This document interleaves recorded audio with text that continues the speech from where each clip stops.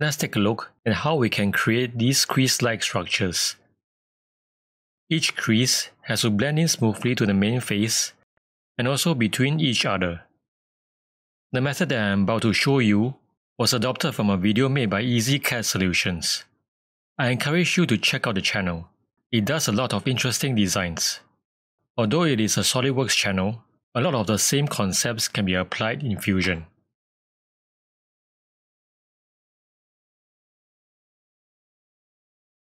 We have a sketch here that demarcates the overall region occupied by the creases. This will be used later. We also have another sketch that demarcates just a single strip. We shall use this to create an opening to build the first crease.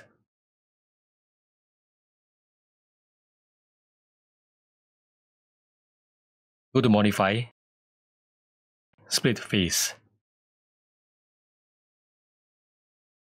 Select the top face to split. For splitting tool, click on the select box and select the sketch.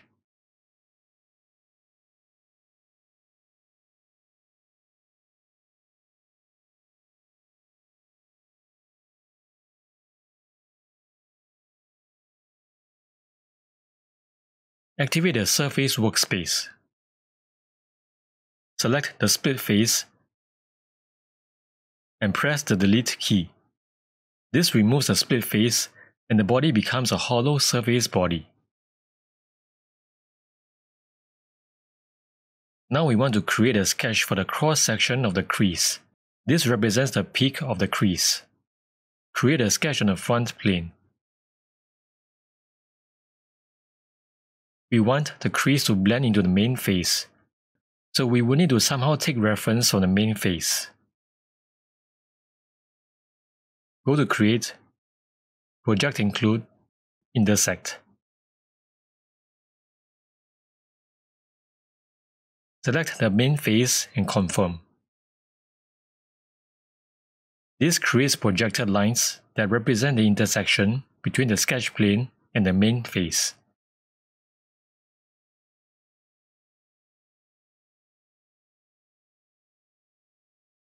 Click on Look at look normal to the sketch plane. Let's hide the body.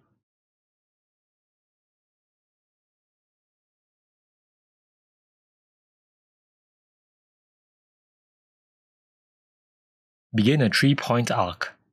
Snap one end to this point. End the arc in space and adjust until tangency to the projected line. Begin the mirror command. Select the arc as the object. Bring up the origin. Select the y-axis as the mirror plane. This will automatically project the plane.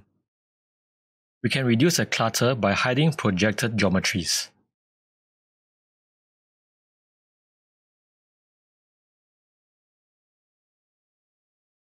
We are going to cap this with another 3-point arc.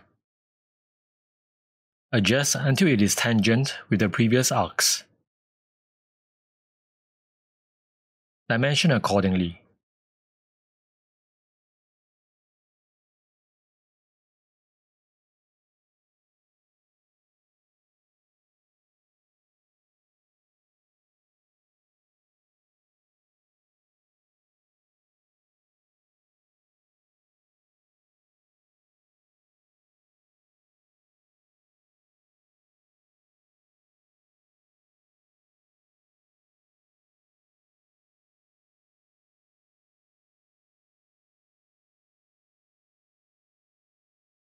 To create the crease, we are going to loft from this edge to the crease cross section and then to this edge.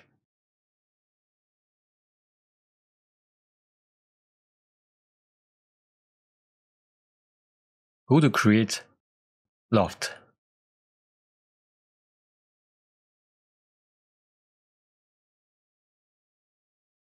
Select this edge as a first loft profile. Select the chain of arcs as the second loft profile. Pay attention to this window as you select the arcs. If you find that new profiles are created as you select each arc, you might need to hold down the Ctrl key while selecting. For profile 3, select this edge.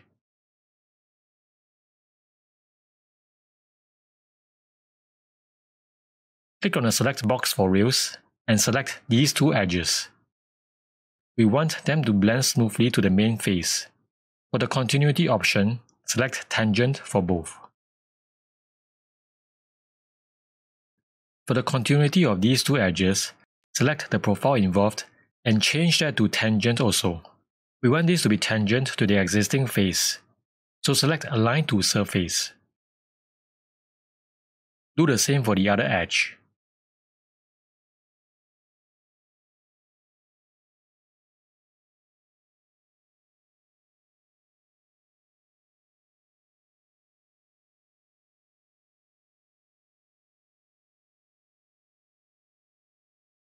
Before patterning this, we want to use the overall region sketch to split out the entire region.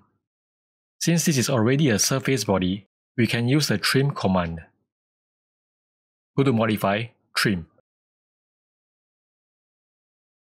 Select the sketch as a trim tool. Select the regions to remove.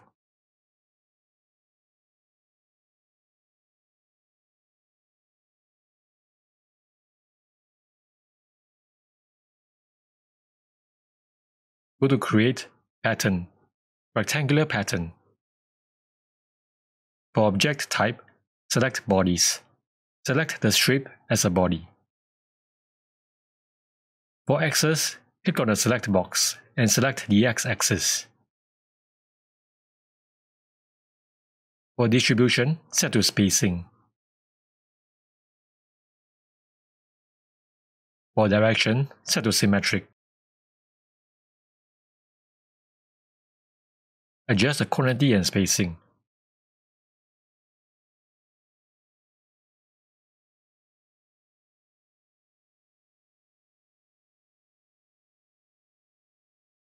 We now have a watertight surface body.